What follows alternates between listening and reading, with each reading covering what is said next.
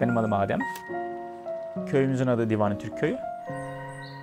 Tamamen fındık üreten.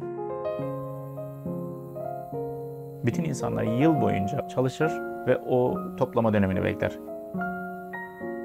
E, sabahleyin yiyecekleri kahvaltı, yapacakları ev, düğünler, engagement, nişanlılık, ev almasını, araba almasını hepsini ona bağlar.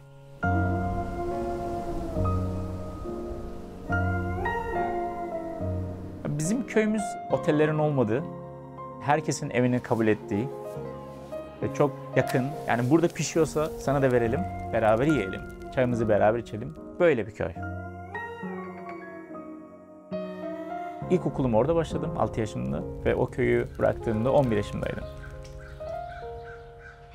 Bizim ailemizde çok büyük bir yıkım oldu ve aile bir şekilde dağıldı. Biz çok fakirleştik, çok zorluk çektik. İlkokula gittiğimde yani üniforma dahi alamadım yani üzerime ilk defa.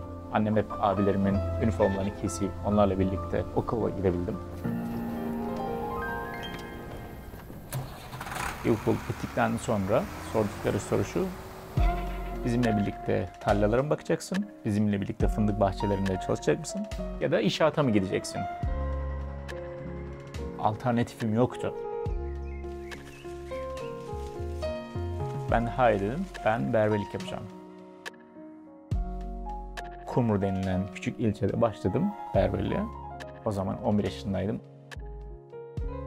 Şimdi benim hocam farkına vardı benim yapabileceğim işleri. Sen kadın kuaför olmalısın dedi bana. Yani bizim bölgemizde kadın kuaförü yok. Tamamen erkek. Bir gün oranın belediye başkanı geldi.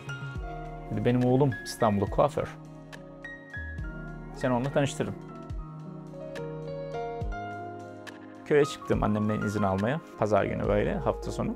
Dedim ki ben İstanbul'a gideceğim. İş buldum. Kalacak yerde buldum. İlk önce bir şaşırdı. Benim kız kardeşim, babam, onlar tamamen karşı. Ben sadece annemin rızasını aldım. O okey dedi. Tamam gidebilirsin. Tek yol biletimi aldım ve İstanbul'a gittim. İstanbul'da 9 sene çalıştıktan sonra İngiliz konsolosluğunda bir vize aldım. O zaman hiç İngilizcem falan yoktu.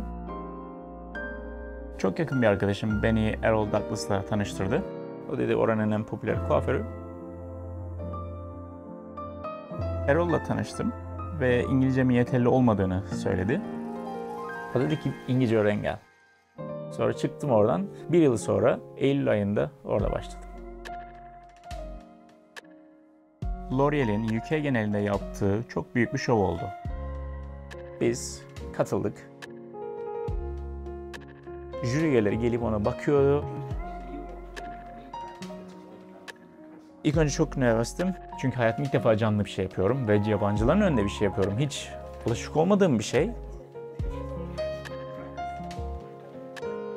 Ve biz arkaya geçtik bekliyoruz onların işte puanlama sistemi. Masada oturuyorum ama kazanacağım ben bunu alacağım diye.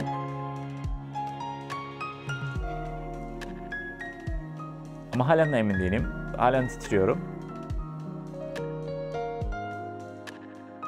Ve kazanan açıklandığında And the winner is Errol Douglas. acayip bir duygu ve inanılmaz bir e, heyecandı. Yes, we did it. Geldiğin yeri hiçbir zaman unutma. Nereden geliyorsan seni sağlamlaştıran o. O benim bir parçam, ben oralıyım. Orası olmasa ben olmam. Gücünü oradan alıyorum.